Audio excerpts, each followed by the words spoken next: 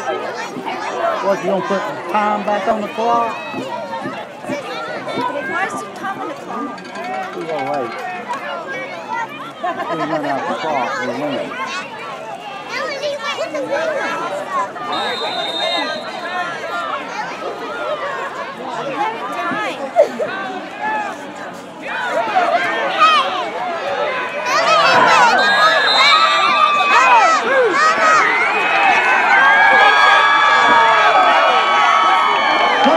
the play to recover by the got two players